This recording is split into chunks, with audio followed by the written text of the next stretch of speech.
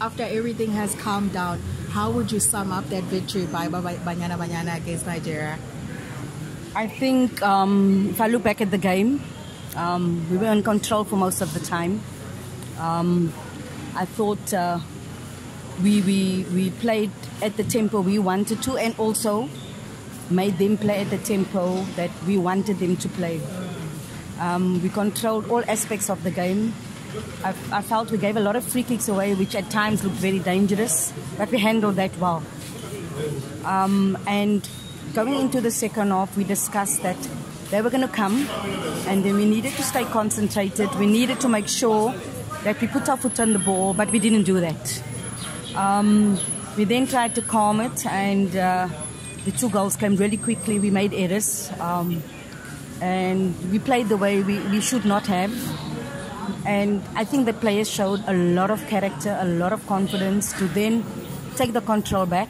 We made a couple of positional and tactical changes, and um, and then it all just came together again. You know, we took control. Then we got then we got the penalty, and we managed the game really, really well. But the victory is not just for us here in Nigeria. The victory is for everyone back home, everyone involved in women's football.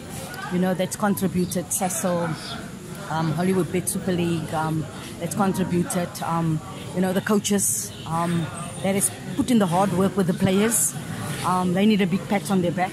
We've, we've had discussions before to say we need more, and they've delivered. But now we need more and more and more you know, um, we wanted to test ourselves and we were, we were, were, duly tested. But we need to now be consistent in what we do. Um, you know, Nigeria has been consistent over a couple of years, and uh, we mustn't forget that they will be back.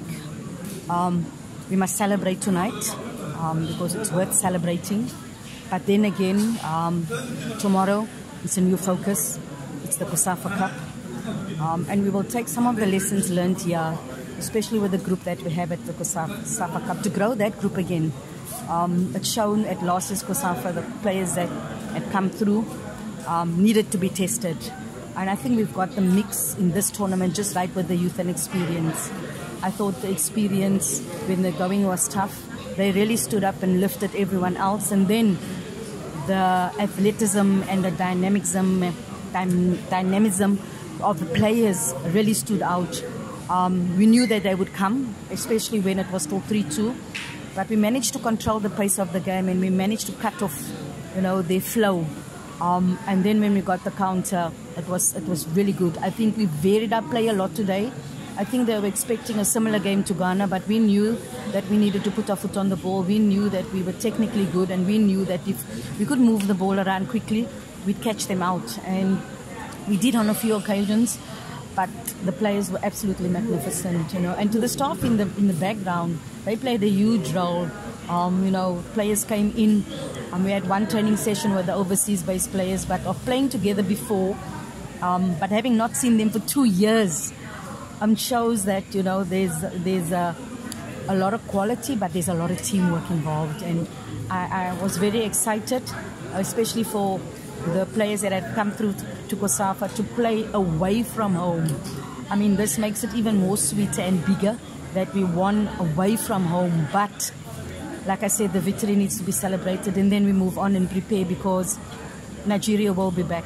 Uh, they've proved consistently over the years that they're the best team on the African continent. And for us to be um, put in that bracket, we need to be consistent against the bigger and the better teams. So the victory is for everyone. We want to thank the South Africa Football Association.